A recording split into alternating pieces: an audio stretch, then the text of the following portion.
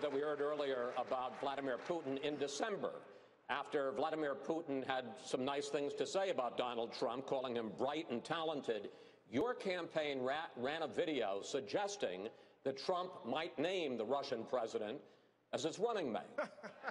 here's, a, here's a clip. I'll have to see this. If elected, Trump promised that the dictatorial duo would, quote, make tyranny great again. I think I'd get very, along very well with Vladimir Putin. I just think so. That was your campaign video, sir. That was a pretty good one. Well, okay. no, I, uh, look, if, that, if, that, I, if I was, may, sir, if I may ask my question, I, I, think you were kidding. Yeah. But it was your vi video.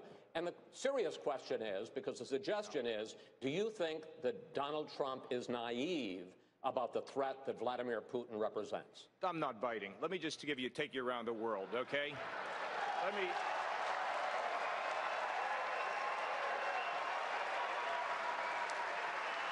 Look, I'm going to take you very. I'm going to take you very quickly. Uh, in Russia, we need to tell them we're going to arm the Ukrainians with defensive lethal weapons, and we're going to tell Putin if you attack anybody in Eastern Europe in NATO, you attack Finland and Sweden, which is not in NATO, consider it an attack on us. And he will understand that. Secondly, I would tell the Chinese, you don't own the South China Sea. Stop hacking us. And we're going to brief up our cyber command, and we're going to be in a position to be able to take out your systems if you continue to do this. Now, let's move over into the Middle East. The Egyptians, they know they're on their last legs there because of the attack from ISIS.